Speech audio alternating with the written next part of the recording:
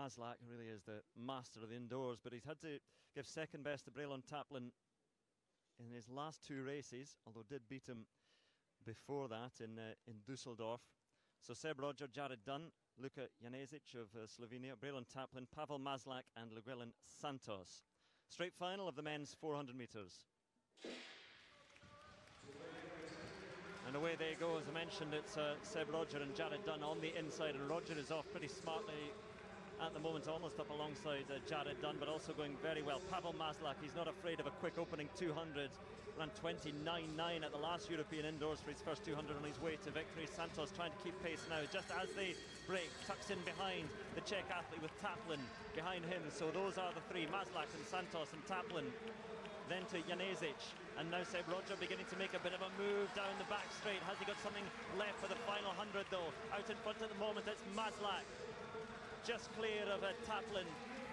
And Santos is trying to get there, but Maslak pulling away in the final 50 metres, and Pavel Maslak takes it. And uh, Taplin in the end just faded, and Santos it was who held on to second place. But Pavel Maslak, that was a convincing victory in the end for the Czech athlete, the man who has been the European champion, the world champion indoors. He really knows how to, to run on the boards. And some people just can't quite get used to the, the two lap 400 metres and the cambers and the slopes and just the spring of the boards. But Maslak loves it. He loves to go out hard in the first 200 metres, and he certainly did there and can control it from then on. Yeah, that was all over in the first 100, 150 metres, really, but once he got in front. Uh, Taplin, who's in third place here, and really never got on terms. The two of them had a great 300 metre race in the Czech Republic uh, last week.